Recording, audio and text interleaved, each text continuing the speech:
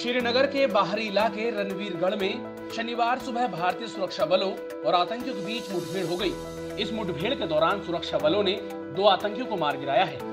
दरअसल सेना को कुछ आतंकियों के छिपे होने की सूचना मिली थी, जिसके बाद स्थानीय पुलिस और सीआरपीएफ की टीम के साथ मिलकर सुरक्षा बलों ने पूरे इलाके को घेर लिया।